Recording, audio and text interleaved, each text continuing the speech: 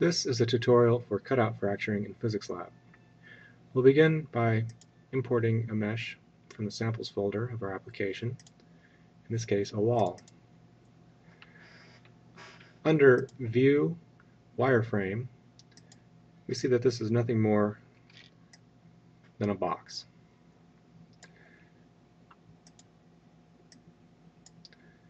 Cutout fracturing is used when we want to chip away tiles or pieces from a mesh, but not destroy the entire mesh.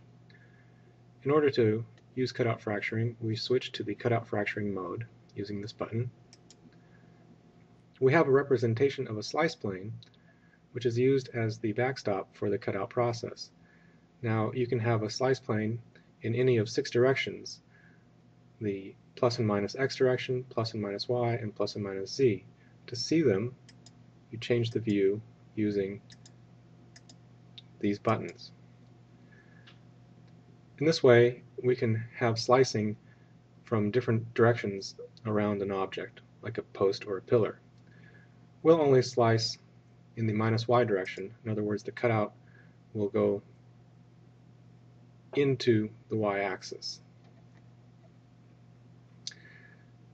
Be sure to enable minus y slicing and disable minus x slicing.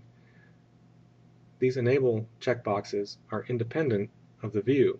The view is only showing you the settings for the one that you've chosen. The default is to have the backstop be at halfway through the object's bounding box. To adjust that, we adjust the cutout thickness. Bringing the thickness down to about 30%, we see we've moved the backstop in a bit. If we don't want a flat backstop for our cutout pieces, we can introduce a little noise. A small amount will do, perhaps 3%, because that number is relative to the overall size of the mesh, and this is a very thin direction. In order to describe the cutout pieces, we use a fracture map. Clicking on the fracture map control brings up a loading screen, and we can load in our fracture map. A fracture map is just a bitmap with lines drawn on it by an artist, which will determine the shape of the cutout pieces. In this case, these patterns resemble the brick pattern on the texture map on the wall. Hitting the fracture button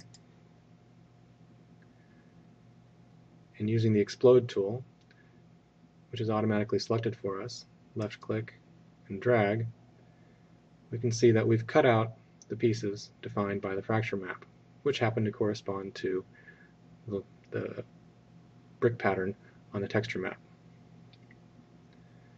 Switching to the rotate tool by pressing O, I can see that we've gotten a, uh, an uneven surface using the noise. But the interior texture is not correct for this mesh. To set the interior texture, we can load a texture and create a material out of it. In this case, we have a stone bitmap. Now we go to our materials panel, and we see the stone bitmap has been turned into a material.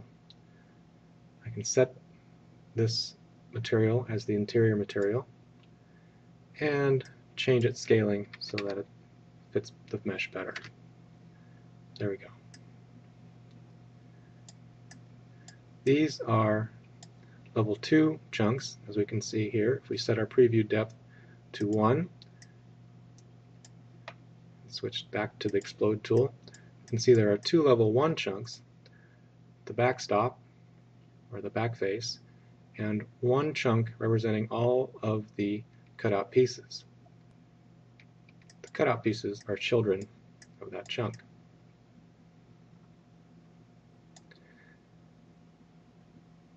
And of course, as usual, the level 0 chunk is the unfractured mesh. Going to the playground, we can see how this mesh fractures, hitting it with the damage tool.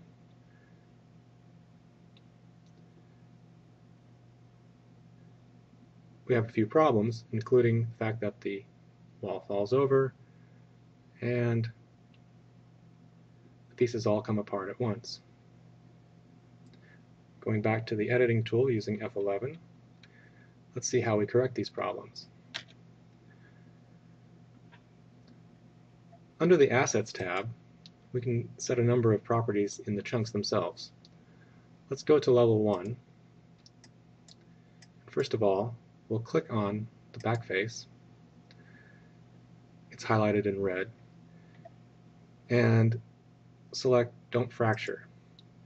Since this mesh starts off static, and it can't, this chunk cannot be fractured, it will not move. It will never be turned dynamic. For cutout fracturing, it's also handy to select the one chunk that represents all of the pieces of cutout chunks and select Don't Damage. In this way, all of the damage will go down into the cutout pieces. And you'll never get a case where the whole face comes off at once. Another problem was that the cutout pieces all came loose as soon as one was fractured. To prevent this, we can define some support on the chunks. An easy way to do that is by clicking World Overlap. This means that chunks which touch the static world, in this case there's a static ground plane, those chunks will be defined as support chunks. We also must define a support depth.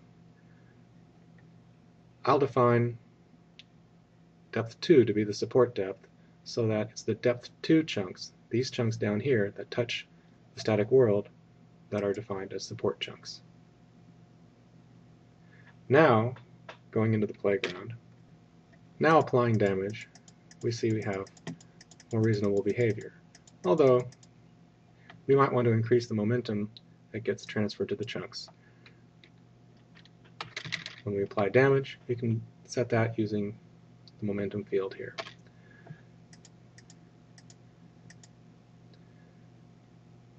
The rest of the chunks stay intact because of the support given by the bottom chunks. If I remove the support to the top chunks by breaking chunks in between free, the top chunks come free and the bottom ones remain supported. And I can continue to fracture this chunk island. These chunks are just the chunks defined by the artist. If we want to break them down further and get a finer level of detail with the fracturing, we can apply slice fracturing to each of the cutout chunks. In the other tutorial we cover slice fracturing and its various parameters, so I won't go into detail about slice fracturing here. Going to the Tools control panel under the slice fracturing mode, Let's set some fracture parameters. Let's have slice planes that are randomly offset and oriented by 30% and 30 degrees. Let's only slice once to a max depth of 1 with two slices along each axis. I'll use target proportions of 100, 100, 100, but I won't fracture in slice mode.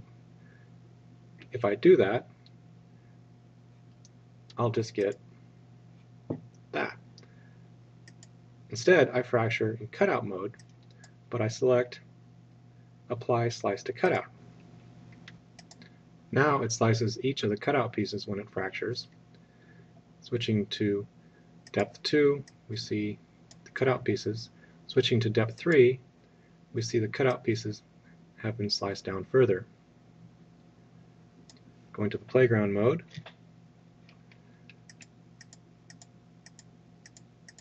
We have much more detail in our fracturing.